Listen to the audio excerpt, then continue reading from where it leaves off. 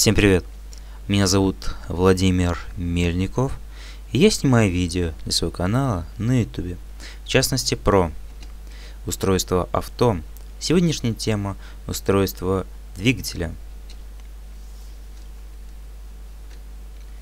Итак, э, мы начинаем рассматривать двигатель в целом по, как сказать, из чего он состоит. И первый из этого – Э, двигатель подразделяется на бензиновый, газовый, дизельный и многотопливный.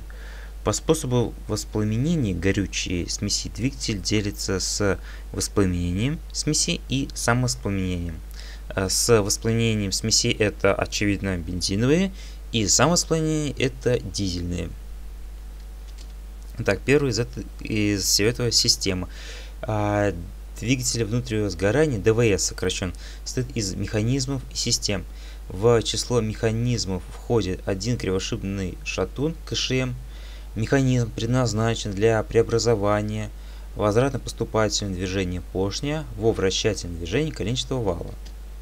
И вот, э, собственно, как он, э, скажем так, выглядит э, в разборе. Следующий это газораспределительный механизм ГРМ. Предназначен для э, своевременной подачи э, готовой смеси и выхода отработавших газов. И вот, собственно, как выглядит э, данная система. Эта система подразделяется, как вы видите на данном изображении, на ременную передачу и цепную. А, далее, система охлаждения для поддержания оптимальной температуры режима а, двигателя путем отвода тепла от наибольших нагретых деталей.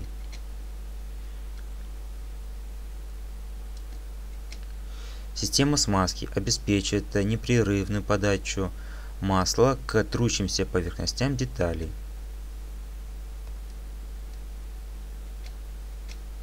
Система зажигания обеспечивает своевременное э, воспламенение рабочей смеси в цилиндрах двигателя.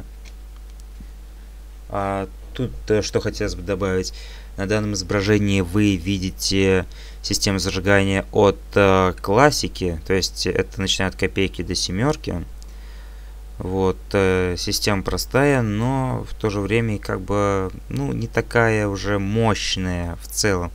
Есть э, и посильнее, то есть это уже как на инжекторах э, и э, свыше уже серьезная электроника. А это, скажем так, простенькая схема, чтобы вам показать, из чего она состоит. То есть это генератор, аккумулятор, замок зажигания, катушка индуктивности, в простонародье просто бобина. Далее в целом идет распределитель зажигания, далее идет а, прерыватель, так называемый бегунок, а, бегунок, который по часовой стрелке крутится и передает на ту или иную свечу заряд. То есть и конечный счет это свечки. Следующий у нас идет система питания. Обеспечивает запас топлива и его подачу через форсунки, форсунки, карбюратор или цилиндр. И вот, собственно, как все это выглядит в целом. То есть есть бак, есть фильтр, э, бензонасос. Ну, это, бензонасос в основном встречается у нас на классике. А дальше идет фильтр тонкой очистки.